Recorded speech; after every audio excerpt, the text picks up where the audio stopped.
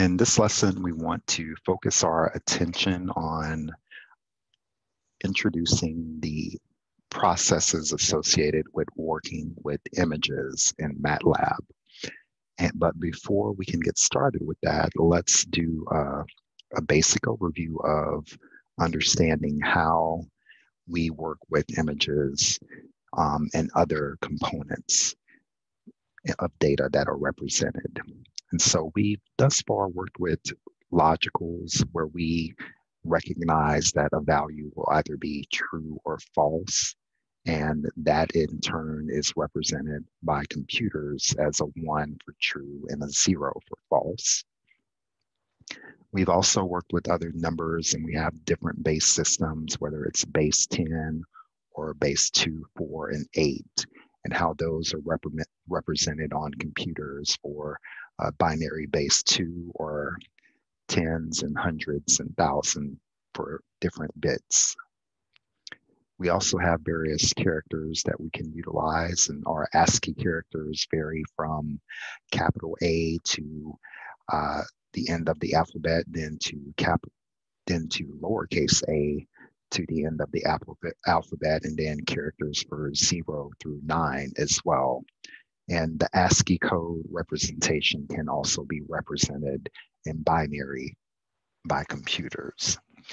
And so now we want to explore how we represent images. And so we, when we see an image, we see uh, a, com a combination of various colors that will normally represent some type of scene or some type of object that we're used to. But how exactly is that represented by on a computer? And so let's consider the basic building blocks of an image. Each picture has is composed of uh, various pixels. And a pixel can be essentially representing the foundational building block of an image. And so the pixel is the, the, the smallest addressable element that we can have in an image. And we're gonna represent pixels by using specific coordinates. We'll use essentially five values to represent one pixel. And we'll have a R coordinate, a C coordinate, and then we're going to have a color value. And the colors are based upon a red value, a green value, and a blue value.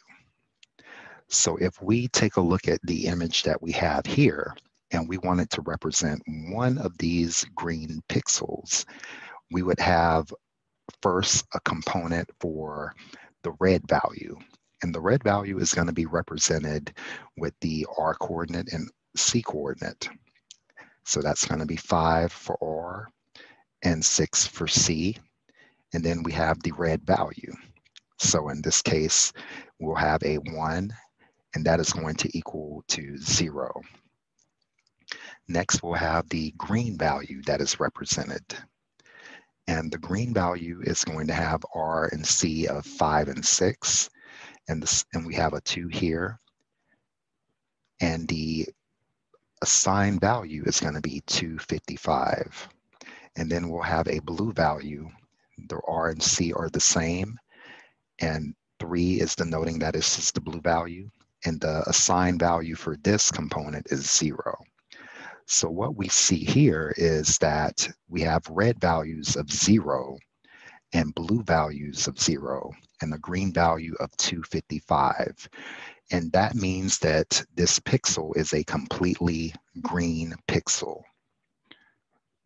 And so those are the essentially the three components that will make up a, a pixel image. And so let's dive a little bit deeper. And so when we we've broken colors into our different our, our color spectrum that is going to be represented as a triad as red, green, and blue. And this is because these are the primary colors of light. The values that we have for each one are going to go from zero to 255. And so let's get into a little bit more detail about why those specific values are used. In order to represent a color, a, a pixel on the color spectrum for red, green, or blue, we're going to use a unsigned 8-bit integer. And this means that when we say an unsigned number is going to either be zero or positive. So when representing colors, we can go 2 to the 8, which is going to mean that we can start with the value of where all of the bits are 0. And so we start at, that's going to equal to 0, or all of the values are 1, and that's going to go to 255. So the range in the color values that we can choose for our RGB components are going to be from the values of 0 up until 255. 255 is the max. And so that means that we can pick between 256 different uh, values for each RGB component. And so this means that there allows for uh, various uh, values that can be used to determine a color. So if we have a, a color that is completely red, that means that the R value is going to be 255. The green value is zero, and the blue value is zero. Now let's consider if we want to have a value that is completely green. In that case, our R components and our blue components are going to be zero, and green is going to be 255.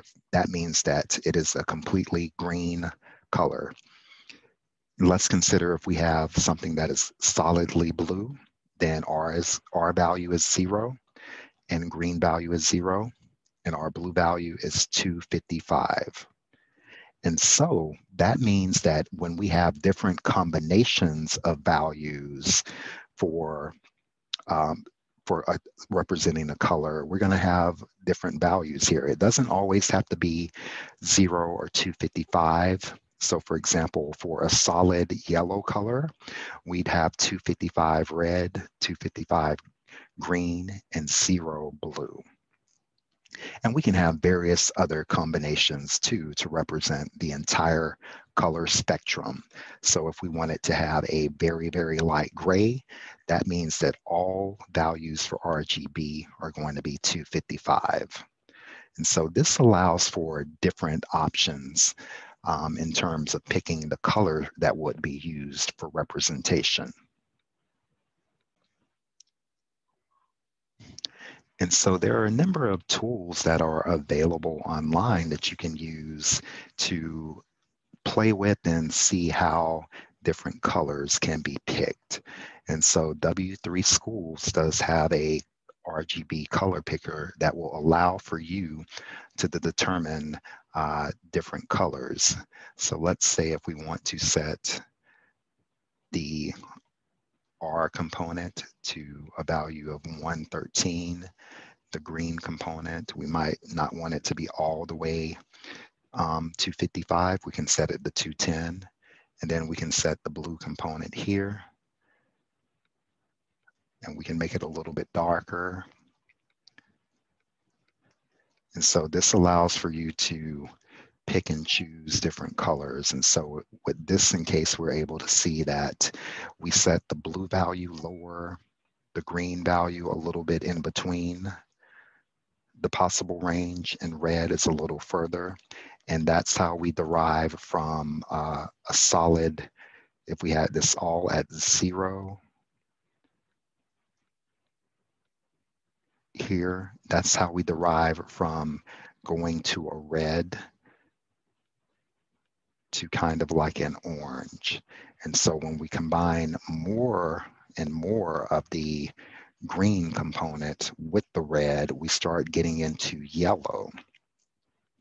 And as you can see, our RGB values are represented here to showcase, um, to show you the differences that are made. And again, if we wanted a solidly green, we increase all the other components, bring our RGB down to zero for R and B. And if we wanted to make this a little bit darker, we can do that by increasing the blue. And then we can increase the red to make it more of a, a teal or light green color. And so there are different ways in which you can kind of just play around with the colors. And that's an exercise that you can do on your own to see how changing the values for RGB will affect the actual color that comes out.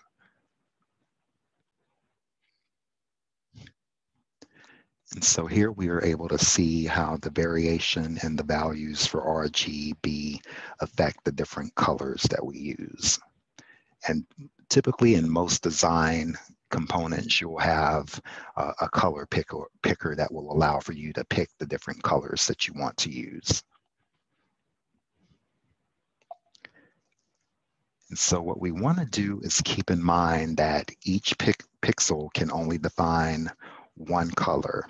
So the more pixels that you have, the better your recreation of the image will look. And so here we have an example that shows how various pixels come together to create an image. On, with our image on the left, we can see the grid, or on the right, we can see the grid that can be utilized.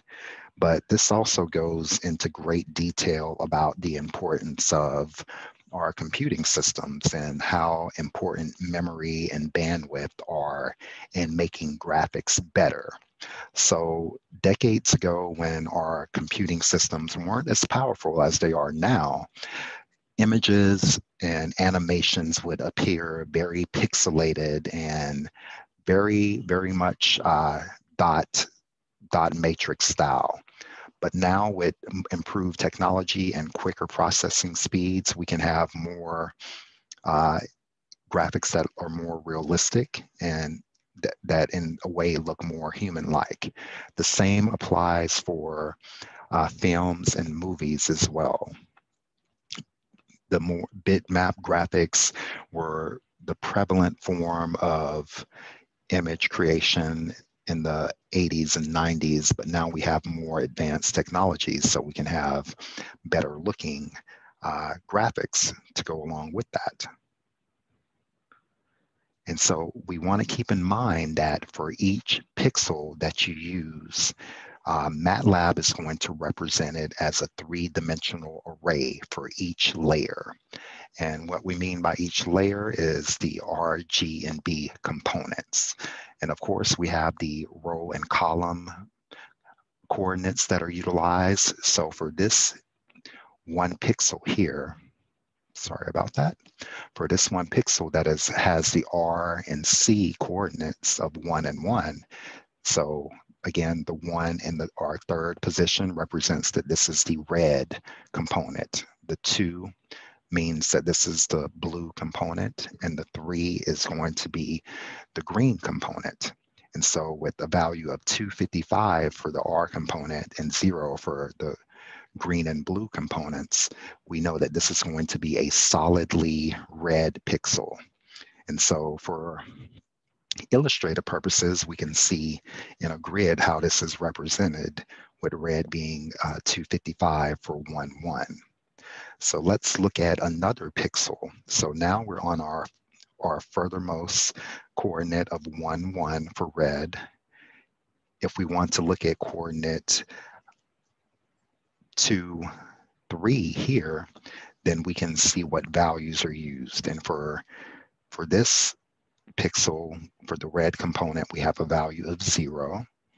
And that is here in our red matrix. For the green component, we have a value of 255. And then for our blue component, we also have a value of 255.